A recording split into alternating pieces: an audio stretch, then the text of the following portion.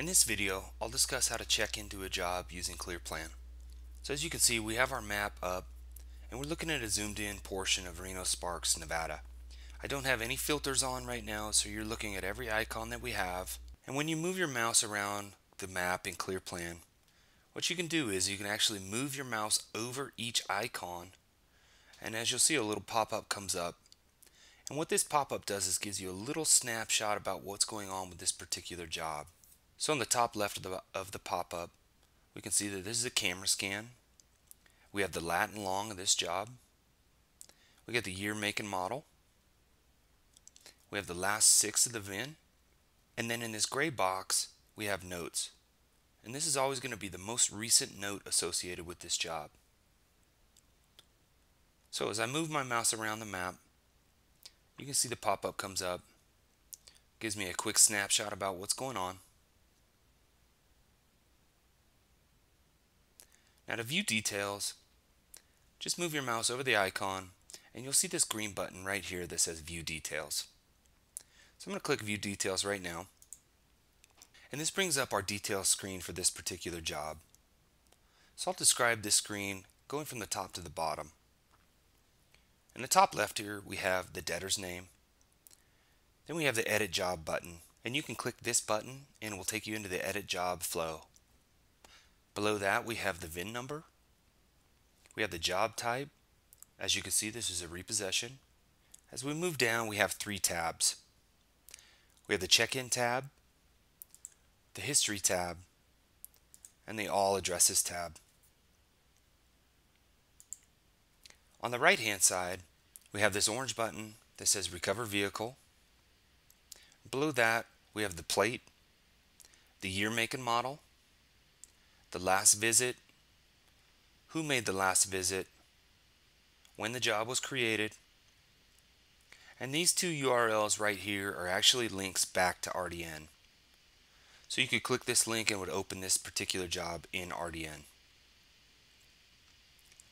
So let's go ahead and check into this job. So from the check-ins tab, we have the address. On the right hand side, we have the total check-ins for this job. And as you can see, there's been four check-ins here. So to check into this job, all I need to do is come down here and click check in and save. And I'll be checked into that job. But before we do that, let's leave a note. So I'm going to type in a note. And to do that, you just click in this box right here that says address notes. So let's type in a quick note. So I've typed in my note. Now I'm going to click on check in and save. So let's check into another job. We'll look at this confirmed job.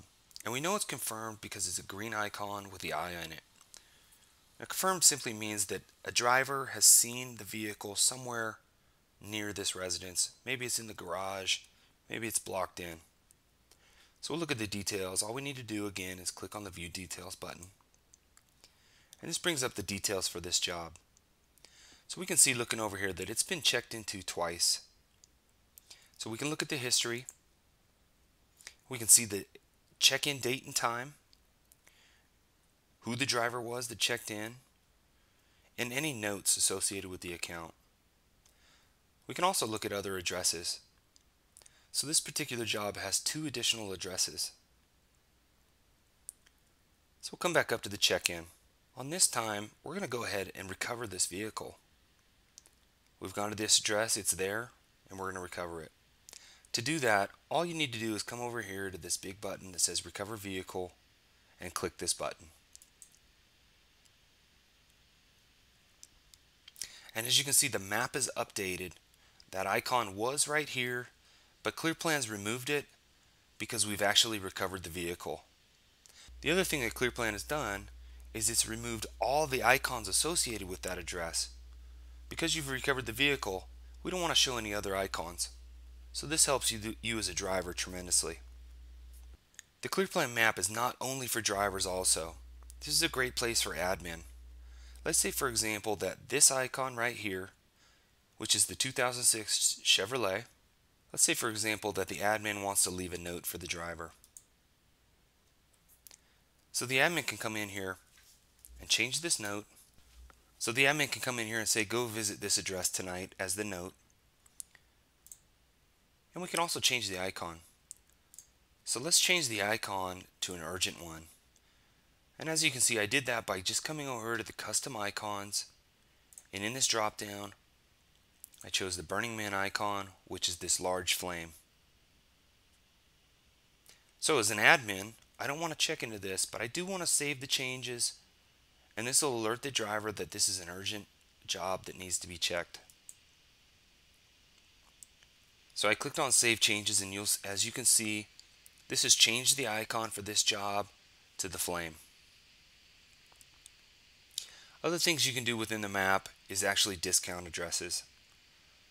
So if we go over here to this camera scan and we click on View Details, and as a driver you've gone here and you found out that this is a bad address, maybe you talked to a neighbor and they said that person no longer lives there.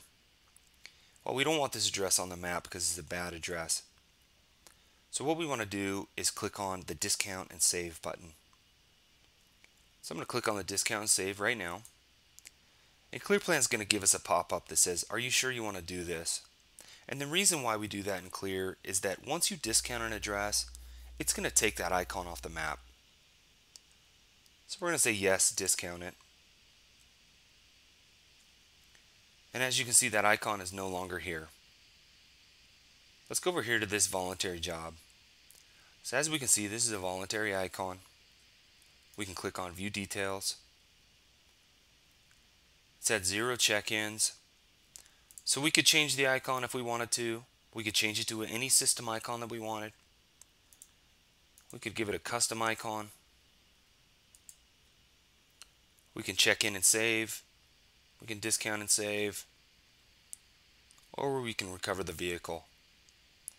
On this particular one, we're just going to check in and save. Maybe the debtor wasn't there. As you can see, ClearPlan has left this as a voluntary icon because we don't want to take that off. It's still voluntary, but now we know we've checked into it at least once. Let's check into one more. We'll come into this one. We see we have zero check-ins, but let's change the icon.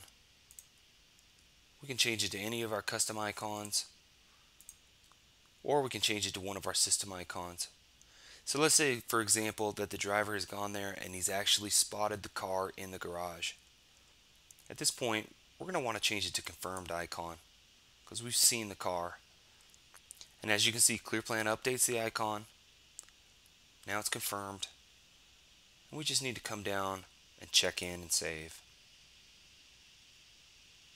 So there's a lot you can do from the maps portion. And this is actually the driver's best friend. In the next videos, we'll go over advanced filtering